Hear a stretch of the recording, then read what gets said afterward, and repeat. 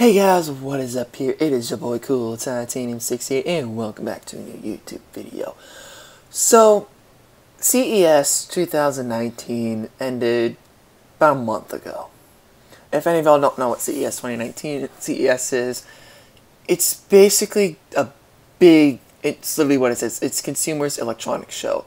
This is basically like the big place where a lot of tech com- a lot of tech giants will show off like their greatest leaps into stuff. Some of it might be coming in like the next couple years. Some of them might maybe not be coming in for several years.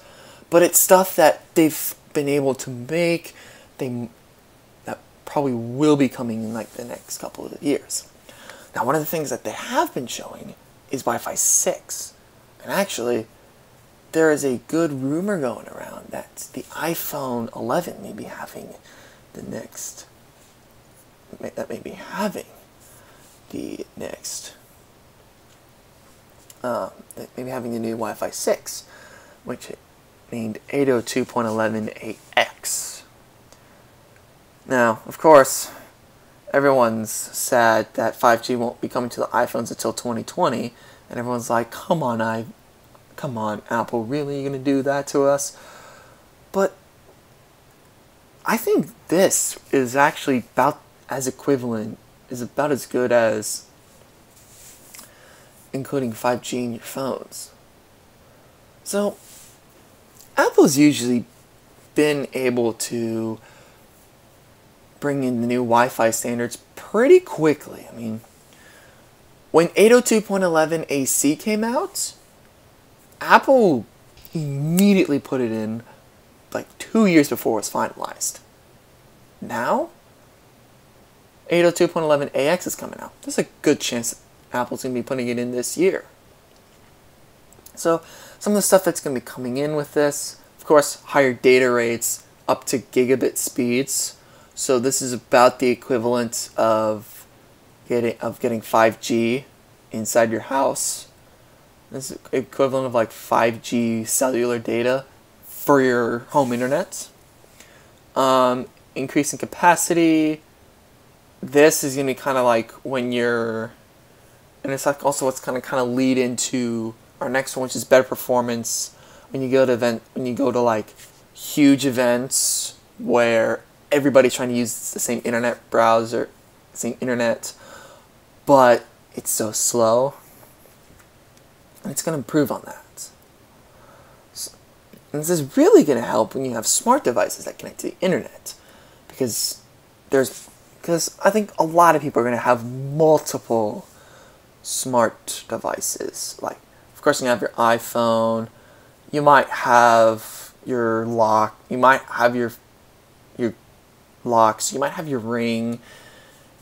And then you might have your fridge, or if you're really techy, you might have your oven, your microwave. Like, this will really, like, help with that. So, the good thing about this is, even though, um, even though 802.11 AX, AEX hasn't been finalized yet. It should be finalized sometime this year, if not next year. But yeah, it's a good thing that the iPhones are going to be getting it because they're really trying to work because it's going to really improve on, on their battery life. Now, of course, as I said before, it's going to get gigabit internet speeds, yada yada yada. But what I think is pretty good is their battery life. Now, a lot of other phones are going bigger batteries. Like they're trying to stuff in 4,000 milliamp hour batteries, but Apple's still sticking with somewhere between 3,500 and 4,000. They're not quite at 4,000, but they're like right in between it. And with the faster Wi-Fi, with faster Wi-Fi, and having it being more efficient, you're going to probably see battery gains of maybe up to like three hours from the 11, from the 10s and 10s Max. Like, it's pretty. It's supposed to be pretty efficient. And of course, I didn't go to CES because I'm not going to skip school and go to a consumer electronics show. Go to consumer electronics show, which would be really nice. It's just school is more important right now. But yeah, it's a really good thing that Wi-Fi 6 has a very good chance of it being on the iPhone 11. But yeah, hope you guys liked the video. Like and subscribe. Make sure you hit that bell icon so you don't miss any future videos, no matter if it's Monday Tech Rumors, Wednesday Coaster videos, or Friday.